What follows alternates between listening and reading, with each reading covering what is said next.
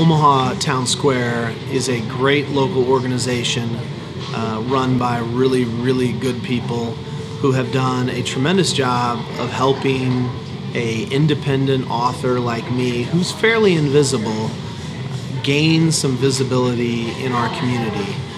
uh, with the way that they promote and especially the way that they can connect me to other people and hopefully new readers and new fans. Uh, so thank you to Omaha Town Square.